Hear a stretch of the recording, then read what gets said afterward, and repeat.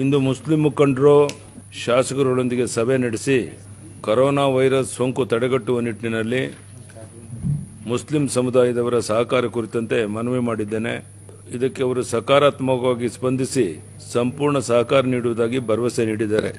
ನಿಜಾಬುದ್ದೀನ್ ತಬ್ಲಿಷ್ ಮರ್ಕಜ್ಗೆ ಭೇಟಿ ನೀಡಿದ ರಾಜ್ಯದ ವ್ಯಕ್ತಿಗಳ ಮಾಹಿತಿ ನೀಡಿ ಅವರು ವೈದ್ಯಕೀಯ ಪರೀಕ್ಷೆಗೆ ಒಳಗಾಗುವಂತೆ ಹಾಗೂ ಕ್ವಾರಂಟೈನ್ ಅನ್ನು ಕಟ್ಟುನಿಟ್ಟಾಗಿ ಪಾಲಿಸುವಂತೆ ಮನವೊಲಿಸಲು ಸಹಕಾರ ನೀಡುವುದಾಗಿ ತಿಳಿಸಿದ್ದಾರೆ.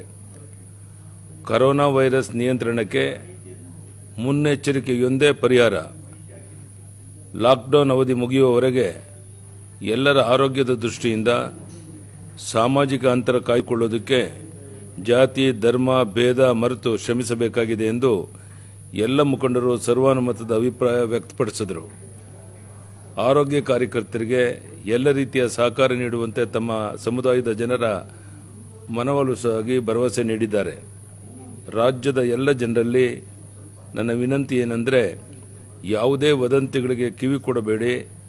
ನಾವೆಲ್ಲರೂ ಒಟ್ಟಾಗಿ ಮುನ್ನೆಚ್ಚರಿಕೆ ಕ್ರಮಗಳನ್ನು ಕಟ್ಟುನಿಟ್ಟಾಗಿ ಪಾಲಿಸಿ, ಕರೋನಾ ವಿರುದ್ಧದ ಸಮರ ಜಯಿಸೋಣ ಎಂದು ಮನವಿ ಮಾಡುತ್ತೇನೆ. ಅದಕ್ಕೆಲ್ಲ ಮುಸ್ಲಿಂ ಬಂಧುಗಳು ಸಹಕಾರವನ್ನು ನೀಡಿದ್ದಾರೆ.